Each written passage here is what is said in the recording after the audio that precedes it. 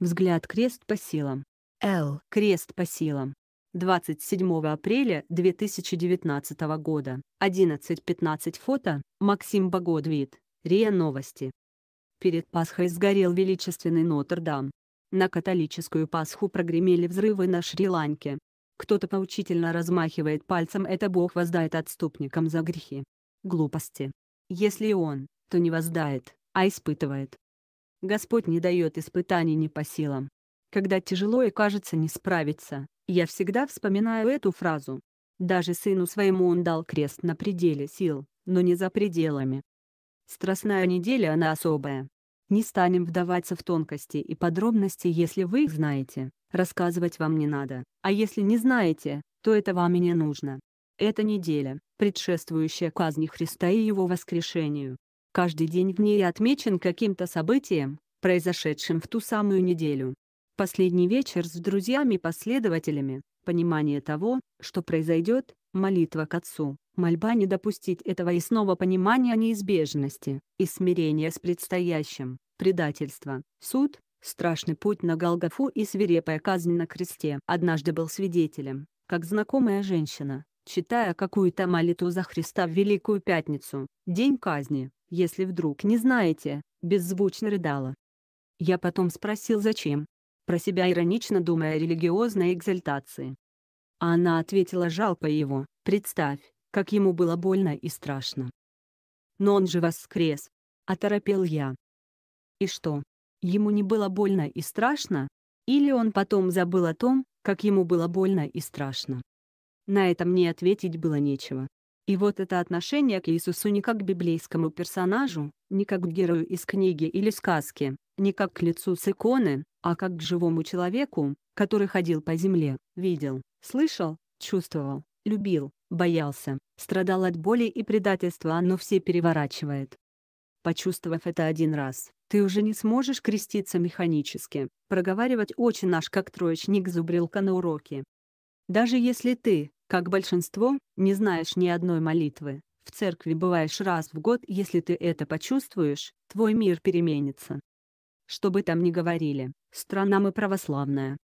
Да, мусульмане я сам татарин наполовину.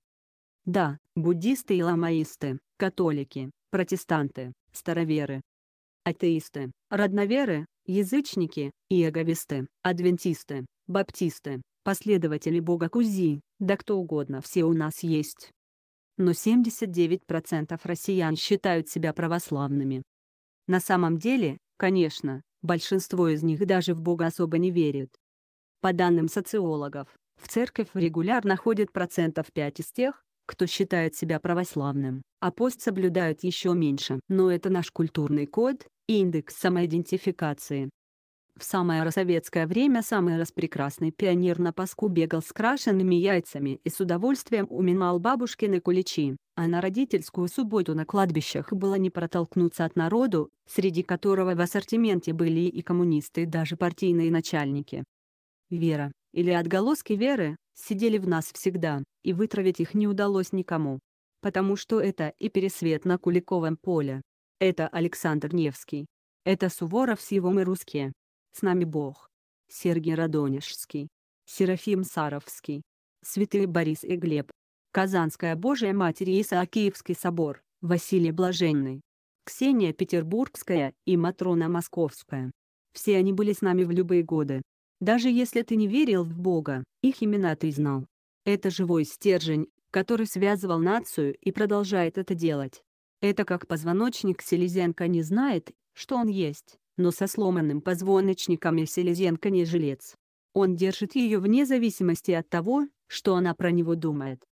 Даже атеисты у нас воспитаны по православным обычаям, как бы они ни противились этому признанию. Жизнь отдать за другие своя, слово держать, отца чтить — это православные заповеди.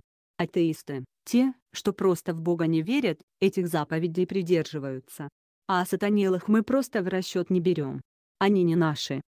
Господь не дает испытаний не по силам.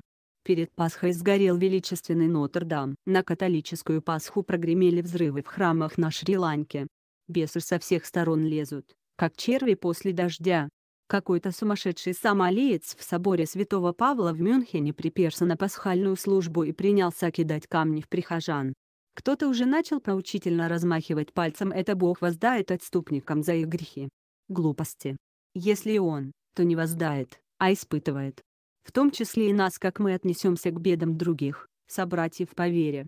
Удержим ли свой крест? А ведь крест сочувствия невероятно тяжелый.